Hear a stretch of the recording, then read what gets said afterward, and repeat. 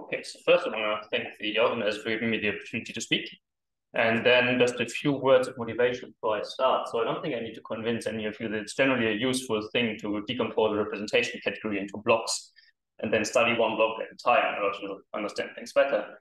Uh, so generally there's a problem with that when you have, say, a tensor category, like say a category of representations of groups, then usually the blocks are not going to be closed under tensor products. So the block decomposition is not going to be so useful to studying the monoidal structure. And what I want to explain in this talk is how when you have a category of rational representations of an algebraic group, of a reductive algebraic group, you can get around this problem partially at least by um, taking a quotient of your category by a tensor ideal. Okay? So the setup is going to be that we fix an algebraic closed field of positive characteristic and a simply connected simple algebraic group over the field uh, which is going to come with a root system and a finite Weyl group, and then we form the affine Weyl group, which is a semi-direct product of the finite Weyl group by its uh, by the root lattice. And then we also fix uh, a weight lattice for the group, and we make a fixed choice of dominant weights. Okay, and throughout we're also going to assume that the prime is bigger than the Coxeter number, um, and uh, then we have some nice properties of this category of rational representations of the algebraic group that I mentioned before. So firstly, it's a highest weight category, uh, whose weight quotient is going to be the set of dominant weights that I just mentioned.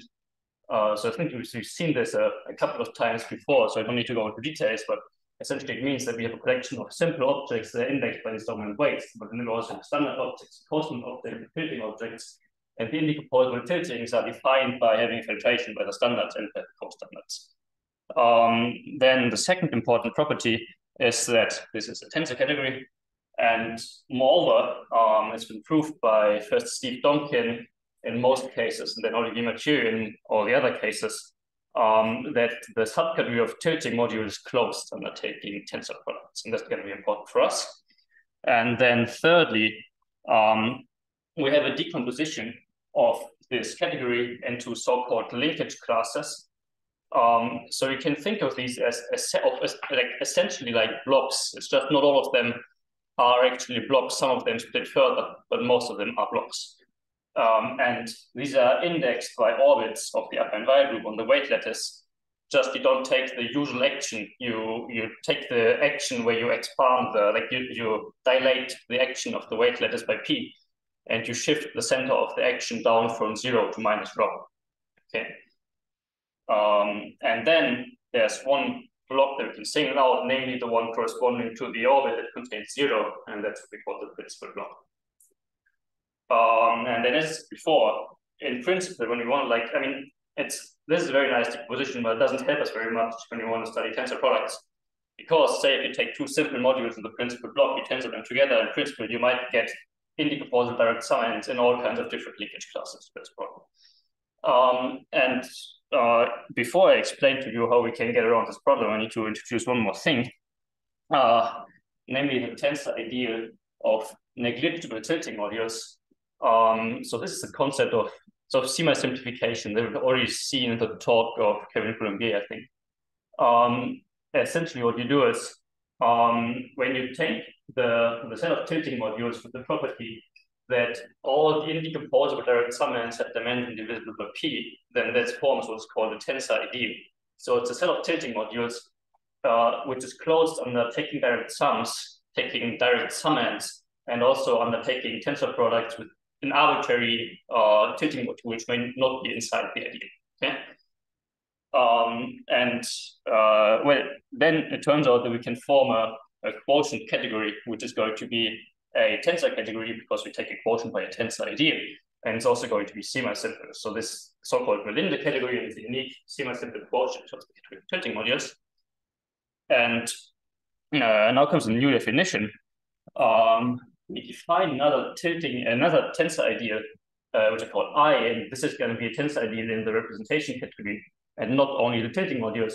And we define it to be the smallest uh, tensor ideal in the representation category that contains the tensor n that we found in the previous slide, and it's closed in the so-called two out of three property. So whenever we have a short exact sequence in the representation category, and two of the three things in the product sequence belong to the ideal, then we also want the third one to be inside the ideal. Okay? And um, then I call I the tensor of singular G modules and the quotient by it the regular quotient. So these terms are sort of generic, uh, some reasons for making, making this definition. For example, you can show that this is the smallest tensor ideal with the two of three property containing all the so-called singular blocks, so blocks uh, where the indexing weight lies on a p hyperplane for the affine value. Okay. Um, and then uh, we're going to write uh, underline Rep zero g for the essential image of the principal block in the regular quotient. So we take its image under the under the canonical quotient functor. Uh, and now we already come to the main results. So the first result says that if you look at this essential image uh, of the principal block in the regular quotient, then this is going to be closed under tensor products, which means that you can view it as a monoidal category with tensor product induced by the tensor uh, product of the ambient category. And then, um, secondly, it turns out that this principal block in the regular quotient actually controls the entire structure of the quotient category. So in other words, we get a we get an external tensor product decomposition of the regular quotient as a tensor product of its principal block with the Verlinde category, where when I write this box product, what I mean is we take the category where objects are pairs of objects and Hom spaces are tensor product of Hom spaces, and then we we formally add indirect sums. So we take the additive closure. Okay. And um, because the second factor that within the category here is semi-simple, this really means that all the information that you need is contained in the monoidal category that you get by employing the principal, the image of the principal block in the quotient with the monoidal structure. Uh, okay. Um, if you're familiar with this theory, the way I like to think about this is to, to call this here a linkage principle for tensor products, and this here translation principle for tensor products. Um, and then finally, some outlook uh, that involves some categorification to uh, go with the name of the conference. So first of all, by a conjecture of Geordie Williamson and Simon Riche that was proved by Roman Bezrukavnikov and Simon Riche, and then again by Joshua Ciappara, there's a categorical action of the Hecke category for the affine Weyl group on the principal block. And it would be very desirable to describe tensor products within this, this image of the principal block in the regular quotient in terms of this, this categorical action. So more precisely, you want to take complexes of Soergel bimodules, and these should define uh, define what, for example, tensoring with one specific simple module looks like. And then secondly, um, this is work in progress with Johannes Flake in Bonn. Um, it turns out that decompositions, like in the second theorem that I showed you on the previous slide, also exist for other kinds of categories. So for example, um, you can do this for the abelian envelopes of the interpolation categories from Kevin Coulembier's talk, and you get a decomposition that uh, essentially essentially tells you exactly the same thing uh, that I told you in the previous slide, but for this this other category. And uh, we are thinking about the question how much further this can be generalized. And so on.